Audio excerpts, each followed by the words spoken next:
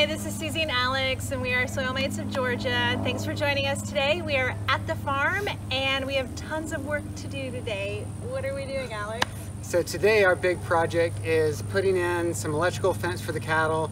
We are adding to our rotational grazing and splitting up a big field here. So this is our first time doing it. We've never installed the polywire and hope we can do it. We've watched a lot of videos, think we have a clue, but we'll soon find out if we are actually clueless. So stick around and see how we do. So we finished up. We were bumbling, I don't know if I call us idiots or uninformed or something, but we didn't know what we were doing and it showed, so we didn't record any of that because we were really bad at it. I had one of my college friends come down and help and, um, well, attempt to help. He was no good also. But the good news is, as soon as he comes in, I have a little tester here that came with the kit we got. And if I put it on the wire, it, let me see, so this is the red one. If it's here, it's red, and then it goes to green. It's at 8,000 volts, or a minimum. This only goes up to 8,000, so it might be more than that, I don't know. But what's cool is we figured it out. It is 5.15 now. We finished maybe 15 or 30 minutes ago. And so we think it took us, we started at 1, didn't we? So it's uh, about four hours and we did about 2,000 feet of rope, or probably 1,900 feet. I think we have about 100 feet left over. And we changed plans the whole way through trying to figure out what we are doing. But while we're standing at the charger, I want to show you what we have here. This is connected to the solar charger, and that's why that's what has it hot. I'm going to go ahead and turn the power off here so I don't mess up and touch it while we're doing the rest of this video. I'm taking that off just as an extra precaution, but it should be, there's a power button on the back. Now that that's off, we should be good. It's grounded over here. It's a long rod and it's so wet down here. I didn't even have to use a um, sledgehammer or anything. I just pushed that in and went right in like three feet easily. So this solar panel, it's a little dusty, we're hitting pollen season now, is facing south this way or roughly this way. So the sun kind of comes up and goes there.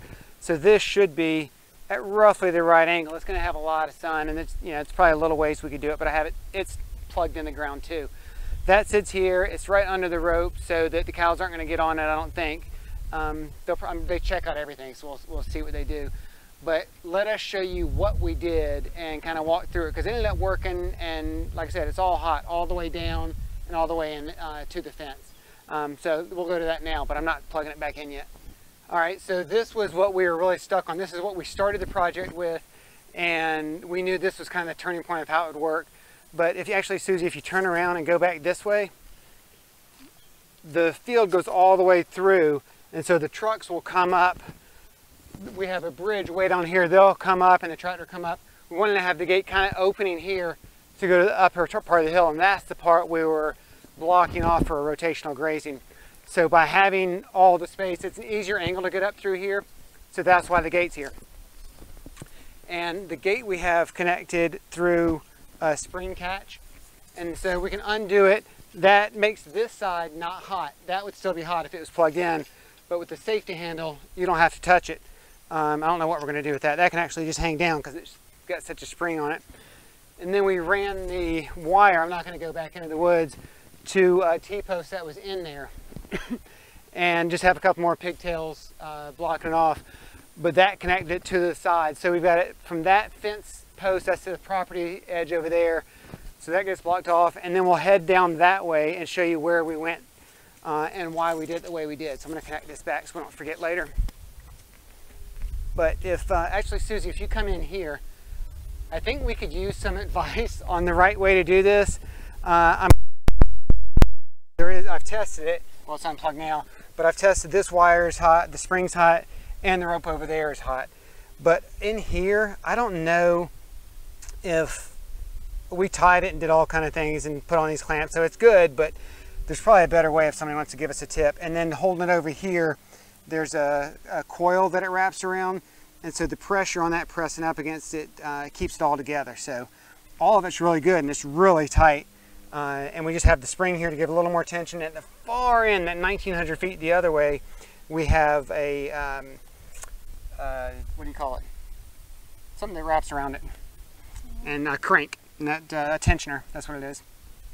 So that should be good, and that, so that pops over and pulls it over and then comes back in, and so it's safe to grab the handle and move away from it. All right, so after we got the gate finished, we decided to walk the line here. And uh, like I said, I had one of my friends down here who it was ended up being a big help to have three people because he could carry posts and walk it off. I could run back to the truck and get more and take the truck different stages. And uh, then Susie could carry the reel. And as she rolled it out, I could throw in post and my friend could uh, walk it off, say, okay, that's about 30 feet, that's about 30 feet. We weren't being exact. We were also looking where there's a low spot in some of these hills. And you'll see as we turn this corner up here, it's not a straight line, which was the goal, and maybe we'll change that eventually. But these pigtails, uh, so that, I'll stop on that for a minute. These, I turned the wire back on, so I'm gonna try not to touch it if I can remember. Um, but these pigtails are a good way. They have a rubber uh, or plastic uh, thing around them here, so they don't, uh, they're not conductive for electricity.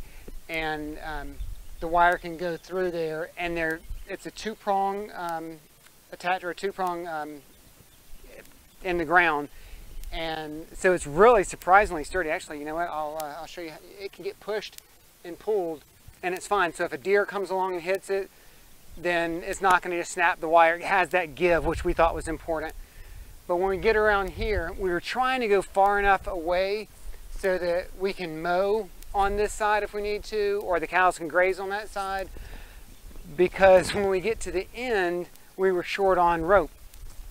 And so we had to kind of make a, a turn and we we'll show down there, but it's there's a big open pasture that's not cut off the way we wanted, and this gives a path for him to get to it.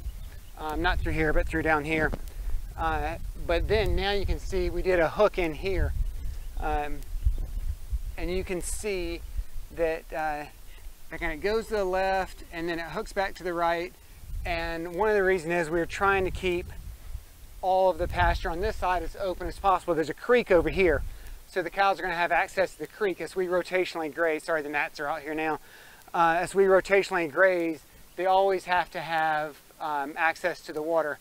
And we don't have wells around the farm and watering troughs. So we'll have the grazing pasture where we filmed a few times where that debris pile is up there. Uh, that is going to be closed off. It has a gate already, uh, barbed wire gate.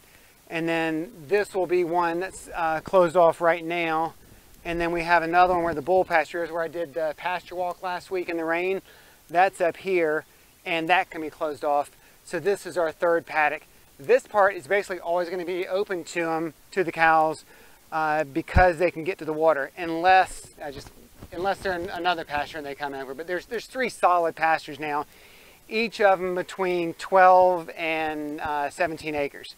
So it gives them a lot. It's we want to divide it up more than that over time, but for now, that gives us, if we rotate them every week, that gives us um, two weeks rest for each division and then the grass has a chance to recover more. Uh, we need to have more like two months would be ideal, but for now, every week rotating them is easy enough. So now you can see the line going down here a little bit more and it turns. And the reason we had to bow out more through some of this is there's some big dips in there and we didn't want to deal with that. And then far, farther down, when it's in the winter or early spring, we get a ton of rain. And it's all marshy in there, so we couldn't even get as close to the trees as we wanted to um, without the uh, posts falling out too much. But it's pretty good how it is now. And it just curves around, and I didn't think, this is it's interesting to me as a novice, I didn't think that the posts were going to hold on these angles. Like this has a slight bend to it. We try to do slight bends wherever we could instead of just a, a 90 degree angle. I don't know how they would last on that. Uh, but there's one we just need to straighten up. We'll do that another day. Um, but even on these, it had a, a good 30 degree turn. The uh, pigtails held up great. So I'm pretty excited about them. Uh, and I'm not going to walk the whole line because you can see it from here but they go down and there's a marshy area over here and then it goes uh, we can get down to the end and show that uh, but we'll drive down there on our way out and catch that. So we have a little bit more to show you and then we'll be done. All right so now we're at the far end and so I wanted to show what our last turn was and then we connected it but also I brought the charger down here. So this is this is at least 1800 feet uh, into it. And red they're green 8000 volts again so that's awesome. I'm really excited about that. The um, I think this charger is supposed to be at least two miles, maybe it's three miles. And like I said, we have we have like what is that uh, two fifths of a mile or less than that. So we've got plenty more we could do if we ended up doing another one one day with sheep or extending it different directions. This same charger, that 60, will be great still. So on this, I don't know if you can be able to get around over here because it's hot, so don't touch it. But we have a T-post in here and an insulator, so we're running it around the outside and it's plastic in here. So there's a thing that keeps it in, a little um, pin that goes through and keeps it in. And then um, it's not touching any of the metal. If it touched the T-post, it would short out. so back down here, we just made a little bit of, it's almost a 90 degree turn. Um, coming down here into the woods is where we had our, I guess the terminal spot is what we call it. But we came, this is the creek I was talking about. So up into the creek, let me jump, jump up here.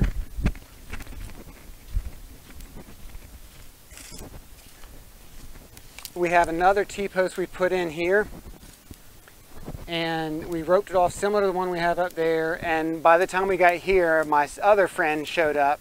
Don't touch it, you're getting close. and um, he's better with knots than I am, or better. Susie actually, I think, is better in the end, but we didn't realize that until later. She finished the other end up after they left. Uh, but he tied it off here.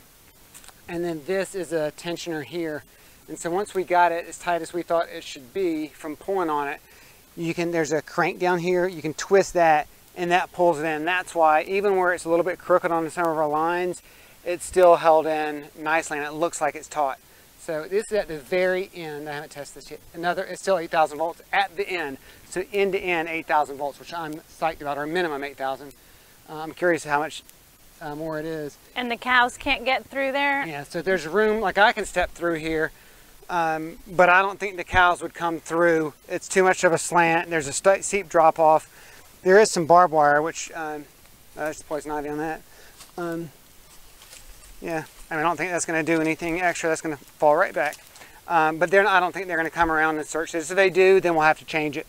But we have to kind of just put it up something. I didn't, we didn't want to go any closer because right now the ground is really wet. And when it floods, we think this would soak and it might fall off um, even though this T-post is a couple of feet in the ground, we think that um, it, with the tension, maybe it would break within a flood. Uh, and we get a few floods a year down here.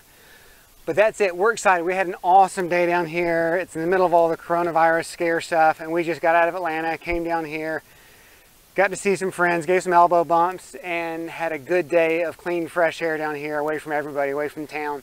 And got a project done that I bought this stuff I think it was a year ago. It was either April or May of last year.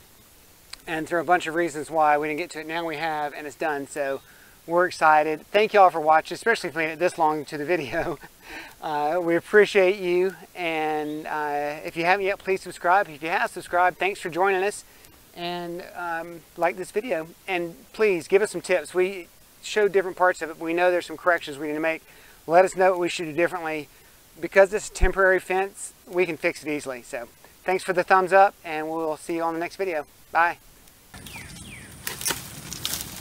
Okay, so these were really close to touching the um, hot wire, and so Alex is trimming this back, and um, just to be on the safe side. And then he moved this little post over a bit.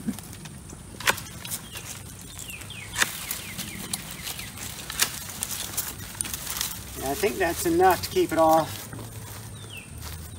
Get a little bit more. Um, and of course I always do this when I don't have gloves on.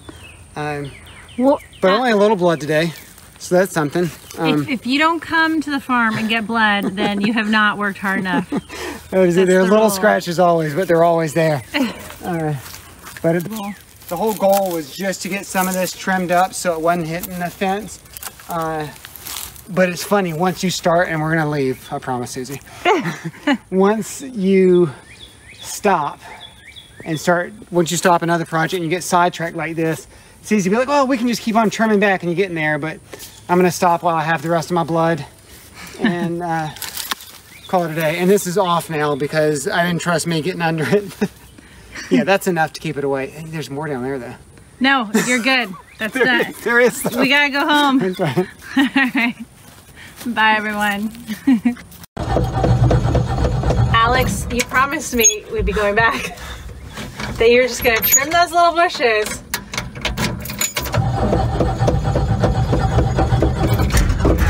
Oh, okay. Never fails unless it fails.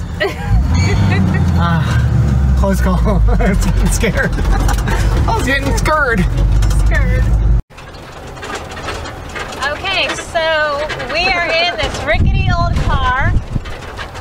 Truck. truck. Sorry. I can't think. I've been jostled around so much in this thing. Um, we are just driving around to make sure. I don't think your door shut all the way. So we are driving around in Hattie, very old truck, to make sure that none of the cows snuck up here while we were doing the fence because then they would be stuck. So, is there a good sunset? Not yet? Not yet. Uh, it's gonna be a nice one tonight though, it looks like. Oh my gosh, so bouncy. This is like a oh, roller coaster ride. Watch out, watch out. No cows snuck through. Okay. Oh my goodness. Whew. Okay, I am very nauseous now. All right, so Alex is closing the gate back up, if you can see right there. And I have my foot on the brake because the other brake doesn't work. okay.